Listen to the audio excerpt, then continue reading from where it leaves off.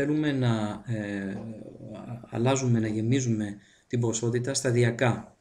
Ε, έχουμε ε, βάλει εδώ στο όταν λάβω το, το μήνυμα κινήσου ένα βρόχο, επανάλαβα 10 φορές και κάθε φορά αυξάνουμε την ποσότητα η οποία ξεκινάει από το 0, την αυξάνουμε κατά 100.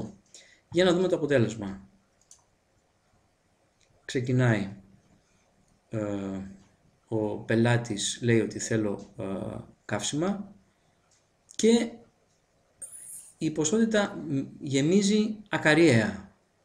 Ποιο είναι το πρόβλημα;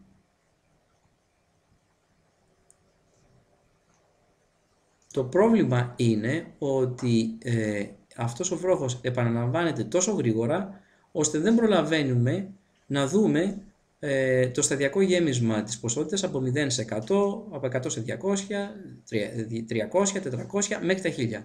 Γίνεται τόσο γρήγορα αυτή η σταδιακή αύξηση, 0, 100, 200, 300, 400 μέχρι το 1000, ώστε δεν προλαβαίνουμε να το δούμε.